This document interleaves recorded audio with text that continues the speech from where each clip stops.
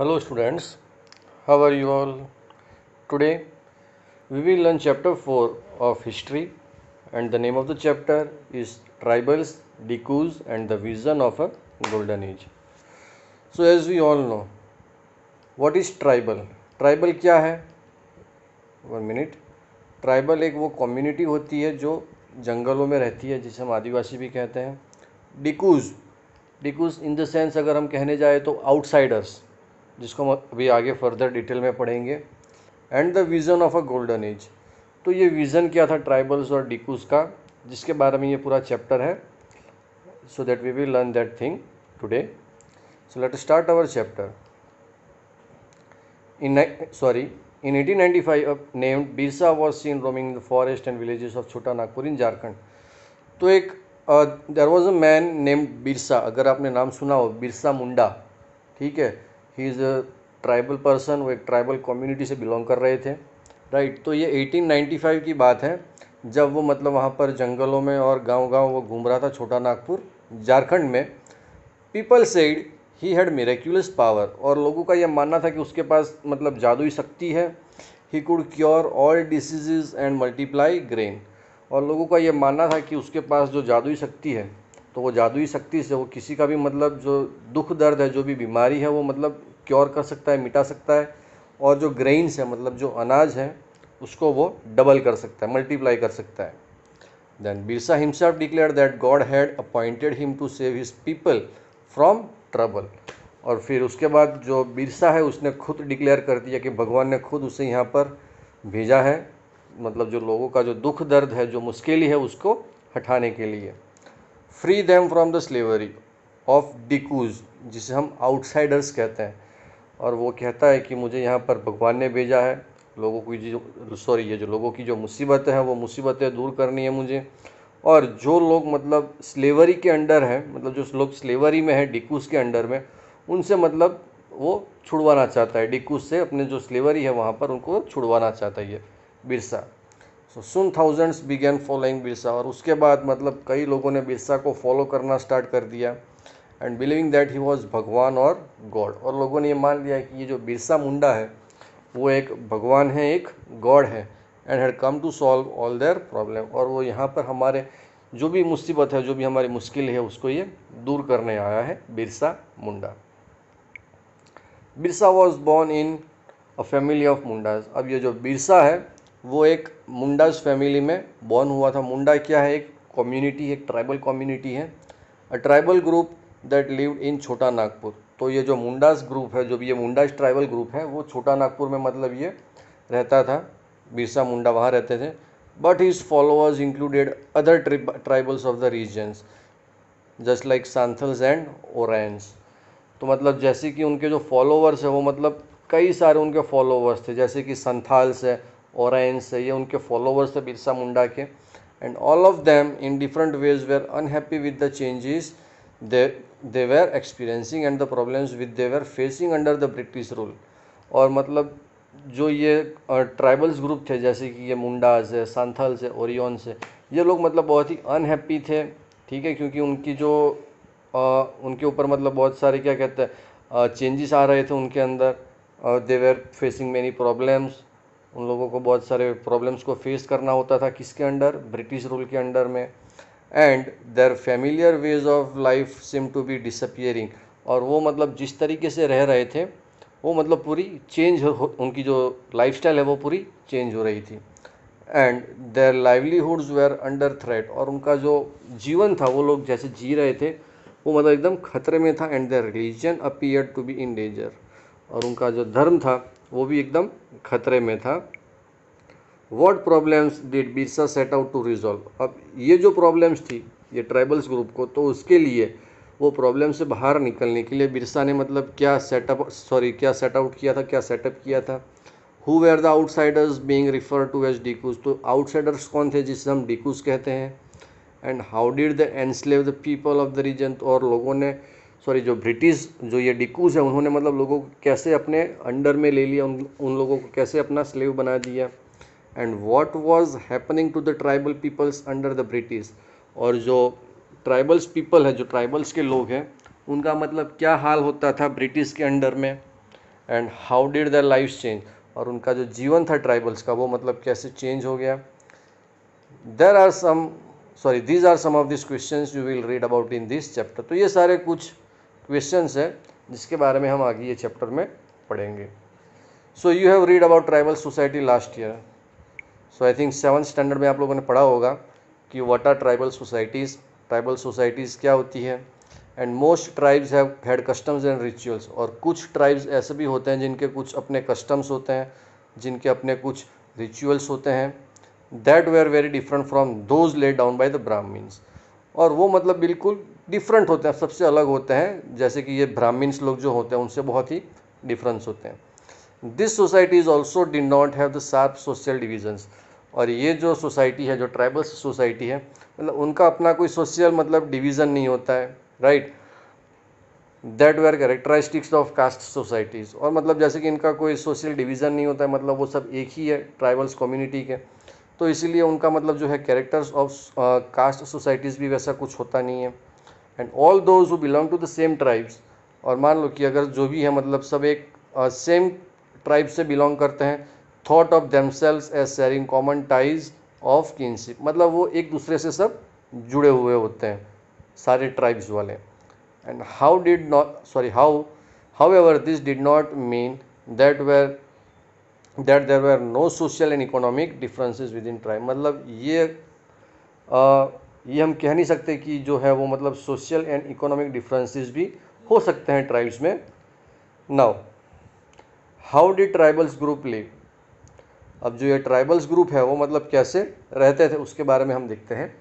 So by the nineteen century अब ये बात आई नाइनटीन सेंचुरी की tribal people in sorry tribal people in different parts of India were involve in varieties of activities तो यहाँ पर जो भी नाइनटीन सेंचुरी में ट्राइबल के लोग थे, वो लोग अलग अलग टाइप्स की मतलब एक्टिविटीज़ करते थे।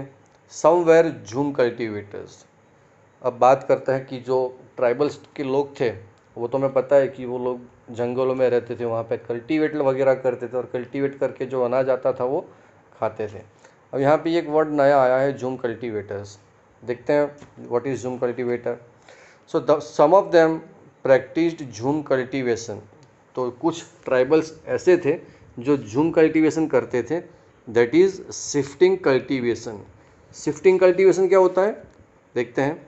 This was done on small patches of land mostly in forest तो ये जो जूम कल्टीवेशन है, ये मतलब एकदम छोटे से लैंड पे इसको किया जाता था, वो भी कहाँ पर? फॉरेस्ट में। And the cultivators cut the tree tops to allow sunlight to reach the ground अब जैसे कि ये लोग जंगल में, वहाँ पर कल्टीवेट कर रहे हैं तो जंगल में तो क्या होता है कि सब पेड़ वगैरह होते हैं तो ये ट्राइबल्स लोग क्या करते थे कि जो ट्रीज़ होते थे तो ट्रीज़ मान लो ये ट्री है, ठीक है तो इसका जो ये ट्री टॉप है, ऊपर का जो है, वो पूरा काट देते थे ताकि ऊपर से सनलाइट जो है वो नीचे क्रॉप्स जो वो लोग उगाते हैं वहाँ पर, वो सनरेज गिर सके। And burn the vegetation on the land to clear it for the cultivation. और नीचे जो लैंड होता था, उसको मतलब पहले तो वो जला देते थे और उसके बाद वो वहाँ पर कल्टिवेट करते थे। They spread the ash from the firing और वहाँ पर जैसे ही वो ज़मीन पूरी सूख जाती थी धूप की वजह से, फिर उसको ये लोग क्या करते थे, उसको जला देते थे और जलाने के बाद उसकी जो एस होती थी, उसको एकदम स्प्रेड कर देते थे वो पूरे लैंड में which contain potash to fert to fertilise the soil और जो ये एस है, उसके अंदर पोटैस होता है, जिसकी वजह से जो सॉइल होती है वो एकदम फर्टाइल हो जाती है।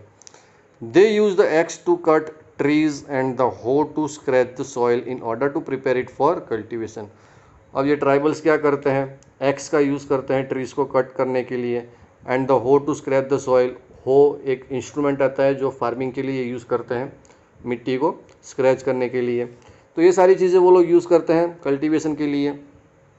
They broadcast the seeds broadcast मतलब सो करना। जो बीज होते हैं वो सो करना होता है लैंड पे. That is scattered the seeds on the field instead of plowing the land and sowing the seeds मतलब जैसे ही वो वहाँ पर एस फैला देते हैं, वो सब कल्टीवेशन के लिए मतलब तैयार हो जाते हैं और उसके बाद वो वहाँ पर पूरा जो सीड्स होते हैं वो वहाँ पर सो कर देते हैं. Once the crop was ready अब जैसे ही क्रॉप तैयार हो जाता है हार्वेस्टिंग के लिए, ठीक है and harvested they move to another field अब जैसे ही वो उसको हार्वेस्ट कर देते हैं वो लैंड ऐसे ही छोड़ देते हैं, फिर वो वहाँ से दूसरी कोई जगह चले जाते हैं tribals a field that had been cultivated once was left fallow for several years अब जैसे कि एक ज़मीन उन्होंने मतलब कल्टीवेट कर ली, फिर वही ज़मीन को ये लोग सालों साल तक मतलब ऐसे ही उसको छोड़ देंगे. लेफ़्ट फैलो फैलो का मीनिंग यहाँ पर दिया होगा. A field left uncultivated for a while so that the soil recovers fertility और इसकी जो ये लैंड है मतलब इसीलिए उसको लेफ़्ट किया जाता था क्योंकि उसकी जो नीचे की जो सॉइल है, वो एकदम फर्टाइल हो जाए, दूसरी बार वहाँ पर क्रॉप क्रॉप उगाने के लिए। Right so it is called jhum cultivation clear हो गया? झूम कल्टिवेशन में फिर से एक बार बता देता हूँ। ये लैंड है ट्राइबल्स यहाँ पर आते हैं। पहले तो क्या करते हैं, यहाँ के जो पेड़ होते हैं, ठीक है, ये ट्रीज़ वगैरह जो है, उसको यहाँ से ट्री टॉप से काट देते हैं। क्यों काटते हैं? क्योंकि नीचे जो लैंड है, ठीक है, नीचे जो ज़मीन है वो पूरी सूख जाए और सूखने के बाद इसको पूरा जला देते थे।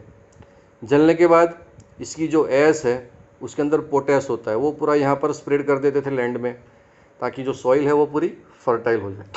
फर्टाइल होने के बाद वो वहाँ पर, जो क्रॉप्स है वो वहाँ पर उगाते थे क्रॉप्स उगाने के बाद उसको हार्वेस्ट करते थे और हार्वेस्ट करने के बाद ये जो ज़मीन है, उसको पूरी छोड़ देते थे और ये जो ट्राइबल्स होते थे, वो किसी और ज़मीन के खोज में चले जाते थे। तो it is called jhum cultivation clear then shifting cultivators were found in the hilly and forested tracts of north east and central India अब शिफ्टिंग कल्टिवेटर्स कौन होते हैं? तो देखो shifting cultivators were found in the hilly and forested tracts of north east and central India अब ये जो shifting cultivators हैं, वो मतलब कहाँ पर पाए जाते हैं? नॉर्थ ईस्ट में पाए जाते हैं एंड सेंट्रल इंडिया मतलब जो छत्तीसगढ़ वाला पूरा जो एरिया है, वहाँ पर पाए जाते हैं। They leaves of this tribals sorry the lives of the of this tribals people depend on free movement within the forest and on being able to use the land and forest for growing their crops और जो shifting cultivators है, वो लोग मतलब कैसे जीते थे? The lives of this tribal people depend on the free movement मतलब ये एकदम फ्री रहते थे। और उनका काम क्या होता था? विद इन फॉरेस्ट मतलब जंगलों में ही घूमते रहते थे। And on being able to use the land और वो जो लैंड होता है उसको उसका मतलब यूज़ करते and forest for growing their crops तो वहाँ पे जो लैंड होता है वहाँ पर वो लोग रहते हैं और जो फॉरेस्ट होता है, वहाँ पर वो लोग क्रॉप्स उगाते. हैं and that is the only way they could practice shifting cultivation और इसी तरह से मतलब इनको शिफ्टिंग कल्टिवेशन या शिफ्टिंग कल्टिवेटर्स भी कहा जाता है. So this is the difference between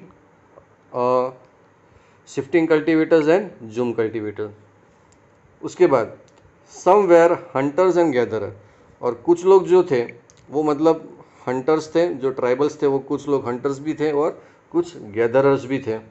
अब देखते हैं हंटर्स और गैदरर्स कैसे हैं।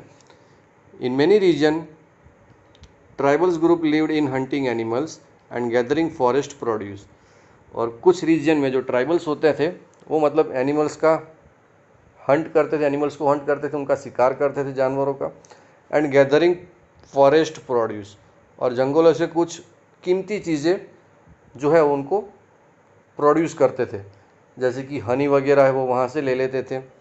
They saw forest as essential for survival और उनका ये मानना था कि जो फॉरेस्ट है वो मतलब आ, रहने के लिए बहुत ही एकदम एसेंशियल है सर्वाइवल है। The Khonds were such a community living in the forest of Orissa तो ये खॉन्ड जो है ये कम्युनिटी है ट्राइबल कम्युनिटी जो उड़ीसा के जंगल में पाई जाती है। They regularly went out on collective hunts and there divided the meat amongst themselves और ये जो कम्युनिटी है खॉन्ड्स वो मतलब क्या करती है? They regularly went on collective hunts और ये हर रोज़ मतलब वहाँ पर हंट के लिए निकल जाती है ये कम्युनिटी और जो भी उनको मीट मिलता है, जो भी हंट ये लोग करते हैं, उसके बाद इनको क्या करते हैं ये मीट को डिवाइड कर देते हैं आपस में। The ate fruits and roots collected from the forest और ये लोग मीट के अलावा ये क्या खाते हैं? फ्रूट्स भी खाते हैं। रूट्स जो रूट्स होते हैं प्लांट्स के, वो भी मतलब खाते हैं from the forest and cooked food with the oil they extracted from the seeds of the sal and mahua और उसके बाद ये लोग खाना भी पकाते हैं विद द ऑयल ये ऑयल से ऑयल का यूज़ करके खाना बनाते हैं।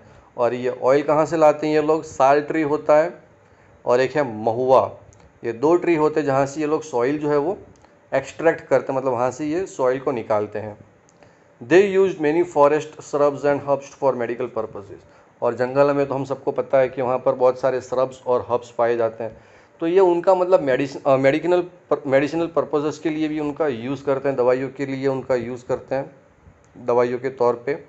And sold forest produce in the local market और ये लोग जो जंगलों में से जो कुछ इकट्ठा करते हैं, जैसे कि हनी है, ठीक है?